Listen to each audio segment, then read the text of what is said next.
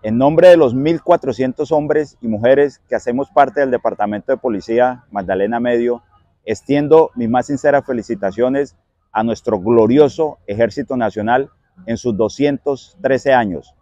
Su dedicación, valentía y sacrificio son un ejemplo para todos nosotros. Juntos trabajamos por la seguridad y la prosperidad de nuestra región del Magdalena Medio.